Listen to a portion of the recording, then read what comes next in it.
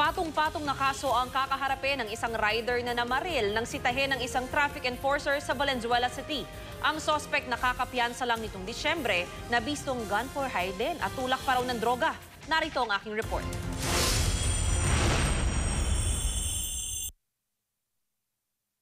Nakipagpatintero sa traffic enforcer ang motorcycle rider na ito sa Valenzuela City noong Miyerkules ng hapon. Ang enforcer, hinarangan ang motorsiklo dahil pilit pang tumatakas. Doon na naglabas ng baril ang rider. Ikinasa niya ito at ipinutok pero nag-jam kaya hindi na baril ang enforcer. Ayon sa traffic enforcer, pinara niya ang motorcycle rider dahil may violation. May violation siya na using sidewalk. Ngayon, pinagigilid ko, tumakbo pa.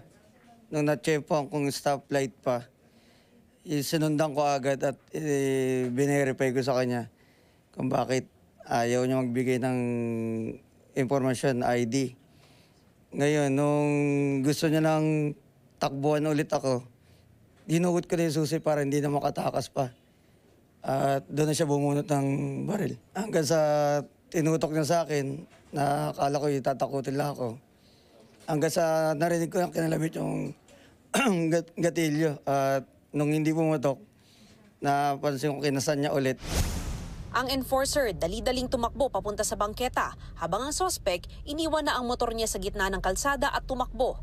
Hindi na nakunan ng video pero nagnakaw na pala ng ibang motorsiklo ang sospek para makatakas. Nakita niya ako, nakaguna yung stoplight.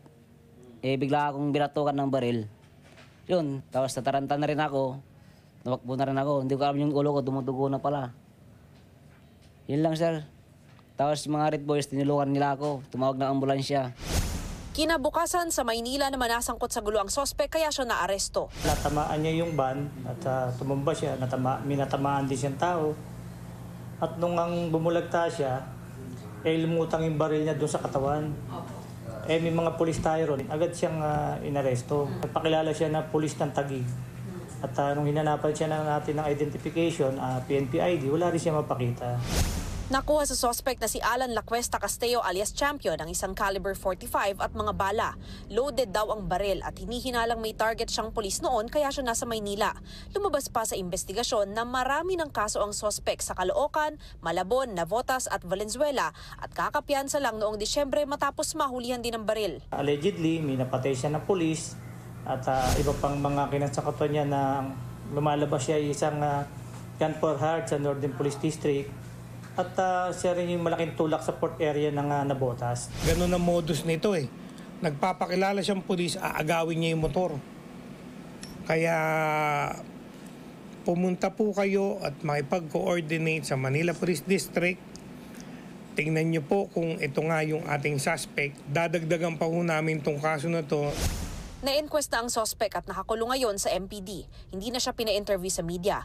Pero mahaharap siya sa patong-patong na kasong reckless imprudence resulting to damage to property and physical injury, usurpation of authority, illegal possession of firearms at paglabag sa gun ban noong traslasyon sa Maynila, bukod pa sa mga kaso niya sa Kamanava area.